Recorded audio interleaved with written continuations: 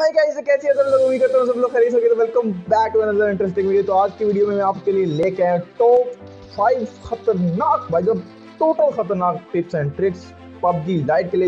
तो आपके फॉलो करोगे ना तो यार डेफिनेटली आप चिकन अंदर मार सकते हो और आपको, आपके एनिमी आपको हैकर आपके टीम आपको हैकर क्योंकि यार आपके एनिमी को पता ही नहीं चलेगा कि आप मार कहाँ से रहो आप कहाँ से आ रहे हो। तो यार, बहुत ही खतरनाक टिप्स हैं, ये पाँच मैंने बहुत मेहनत से आपकी ये वीडियो बनाई है तो यार लाइक ज़रूर करना यार इस वीडियो को। पिछली वीडियो में आपने सपोर्ट नहीं दिखाया, मैं गेम प्ले की वीडियो डाली थी यार, वो ऊपर आपको आई बटन में मिल जाएगी तो यार उस वीडियो को भी ज़रूर चेकआउट करना। तो यार, बगैर किसी बग वीडियो को शुरू करते हैं। तो भाई साहब, जो हमारा पहला ग्लिच निकल के आता है ना यार, वो काफ़ी औसम काफ़ी ओपी और काफ़ी ख़तरनाक ग्लिच है, जो कि यार आपको ये इस ट्रक पे साथ करना होगा। यार, ये ट्रक आपको पूरे मैप के अंदर मिल जाएगा। सिंपली आपने क्या करना है? ट्रक के नीचे आना है इंजन आने के बाद आपने स्केप बोर्ड है, उसको एक बार ओपन करना ओपन करने के बाद अपने उसको एग्जिस्ट कर देना आप बुम का आप देख सकते हो। आप इस ट्रक के अंदर आ चुके हो और पूरे के पूरे हिडन हो चुके यार, आपको हर चीज़ से बाई जाएगी। अभी आपको मैं प्रूफ भी दिखाऊँगा। देखो, मैं फायर करता हूँ स्केयर के ऊपर। तो यार, देखो, उसके ऊपर वो बन गए हैं निशान।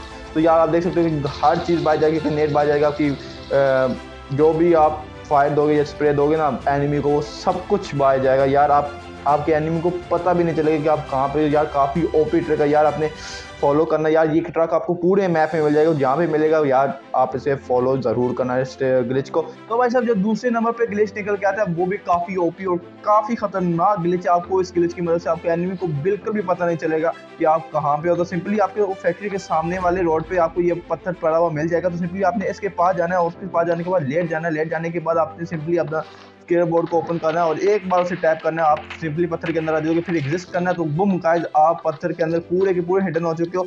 आपकी फायर रेट आपको जो स्प्रे दोगे ना यार, वो पक्का बाय जाएगा। अभी आपको मैं प्रूफ भी दिखाऊँगा।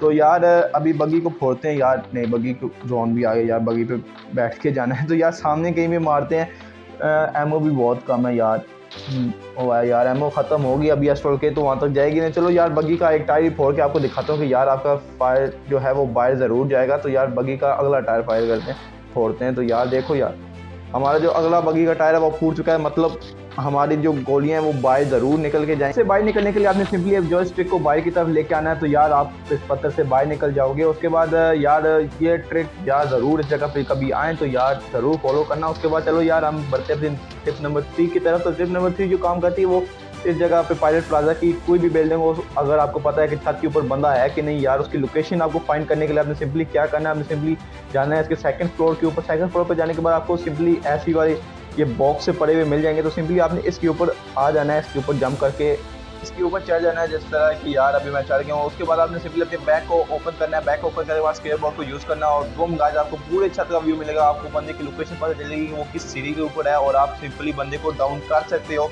अगर आपको बंदे की लोकेशन पता चल जाए तो यार आप इस ट्रिक का यूज़ जितनी मर्ज़ी चाहो ना उतनी मर्ज़ी बात कर सकते हो। और पायलट प्लाजा की हर बिल्डिंग के ऊपर आप इसको यूज़ कर सकते हैं। कि सिर्फ़ इसी बिल्डिंग के ऊपर, हर बिल्डिंग के ऊपर आप इस ट्रिक को यूज़ कर सकते हो और बंदे की लोकेशन जो छत के ऊपर छुपा हुआ है उसको आप इजीली डाउन कर सकते हो।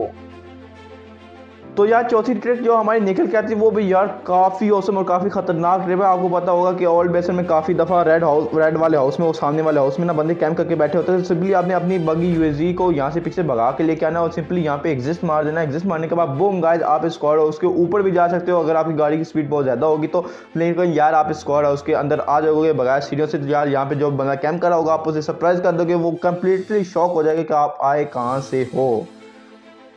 तो हमारी लास्ट ट्रिक निकल के आती है यार, काफ़ी ज़्यादा ख़तरनाक ट्रिक है यार। आपको आपको पता है कि ट्रिपल स्टोरी कितनी ज़्यादा कैंप के लिए यूज़ की जाती है यार। इधर काफ़ी ज़्यादा बंदे कैंप करते हैं और यार आप लोगों भी कभी कभी कैंप किया होगा। तो यार इसका आज मैं आपको एक सीक्रेट रूम बताऊँगा। तो यार उस सीक्रेट रूम में जाने के लिए आपको सिंपली इस खिड़की पे आपको जंप करना डेफिनेटली आपको बंदा बाहर तो जाएगा नहीं। तो आपने सिंपली इस खिड़की पे जंप करना जैसे जंप करना जॉयस्टिक को आपने पीछे की तरफ़ खींच लेना है। तो यार आप इधर आ जाओगे।